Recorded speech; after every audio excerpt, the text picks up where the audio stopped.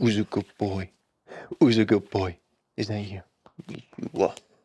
Yes, you are.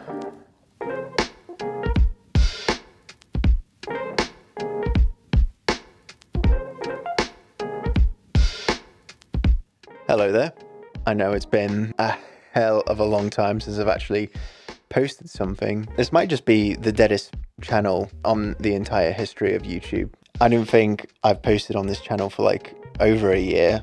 Even when I was posting, it was extremely inconsistent. I was just kind of posting random ass things like the Krasnogorsk conversion video and random Super 8 videos, stuff like that. I want to put more effort in. I want to start a new series, um, up my consistency with this channel, essentially. Yeah, so to start off with, because I've never actually formally introduced myself, my name's Kieran.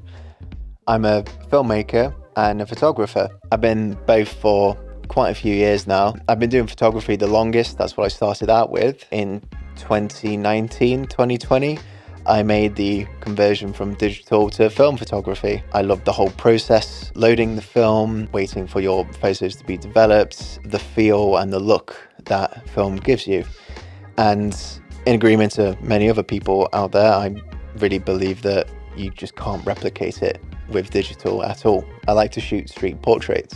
I use a Yashica 124G. I've been using it to take all of my portraits. I took that with me to America last year which is where I started my street portraiture. Because of my new job as a, a, camera operator for a company, I've had quite a few opportunities, which I've been very grateful for, to be able to travel around Europe. I've made my Yashica my little travel companion.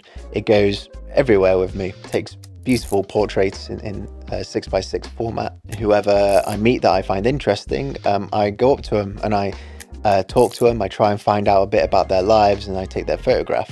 Sometimes I'm successful, sometimes I'm not. It's just kind of the deal you get with street photography. And then uh, I'll write about them. I usually post them on my, on my Instagram, which you can find below if you'd like to check out my work. The reason that I do it is, is because I love meeting new people from all walks of life, different backgrounds, mentalities, different ideologies about certain things, people with different knowledge and experience and expertise to be able to connect and talk to these random strangers. Almost all cases I never hear from again. I think I care mostly about just wanting to capture the person in the moment and nothing else really matters. I just want to make sure that the person is in focus and everything that I want the viewer to see is just right there. So depending on the environment they're in, I've taken photographs of people in their working environments before. So I like to include their space because their space is a part of them. It's about the people themselves. Again, I love film because I think for me, it gives a lot of nostalgia. I also think that me with the camera that I've got, it's very helpful with approaching people. They see my camera and they see how old it is. It was from the 70s. Uh, it's, it's a beautiful looking camera. And then when they see that and they see me, they think, well, he probably is like a street photographer. In general, I think they, they like seeing these old cameras. That being said, I basically want to create a new series, a new photographic series kind of based around the street photography that I do. And I'm just going to call it something like taking portraits in dot dot dot and then wherever.